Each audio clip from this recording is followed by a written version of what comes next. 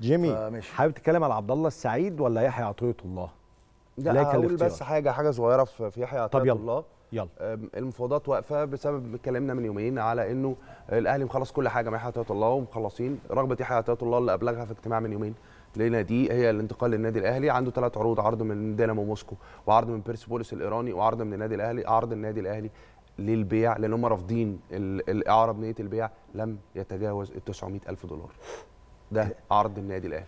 الاهلي باع 900000 دولار 900 بس ألف دولار. لم يتجاوز 900 ألف دولار والإعارة إعارة ولا بيع؟ بيع. والإعارة ال- آه، الرقم لم يتجاوز 400 ألف دولار. طلبوا آه. إعارة ب 400 ألف دولار ثم عرضوا عليهم اعاره بنيه البيع. الأهلي كان بيخطط إنه يحط 900 ألف دولار وبعدين يرفع لمليون و200 لأن أعلى رقم جه للاعب هو من بيرس بوليس بمليون و200 دينامو موسكو مليون و200 النادي رافض المليون و200 ورافض ال 900 عايز عايز في اللعيب مليون و600 ألف دولار بعد ما كانوا طالبين 2 مليون دولار. كلام محترم. لا أنا جيمي بصراحة في الحتة دي بيجيب النهاية. مع؟ إنه قال الأسبوع اللي فات خلص وجمهور الأهلي ما هو. خلص.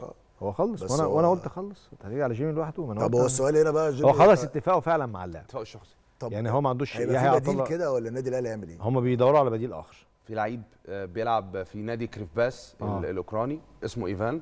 آه، لعيب كاميروني 22 سنة.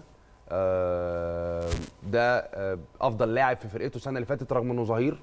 رغم إن هو ظهير أيسر وأفضل لاعب في فرقته بيلعبوا في الدوري الأوكراني الموسم الماضي اللعيب بيتفاوضوا عليه لكن اللعيب جاي له عروض تانية بيتفاوضوا عليه من فترة واتكلموا مع اللعيب من فترة عنده آه آه، ده اللعيب اللي صورته معانا على الشاشة آه لعيب ب 183 سم آه لعيب قوي جدا جدا هجوميا ودفاعيا.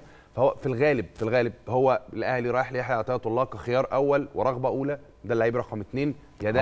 يا ده.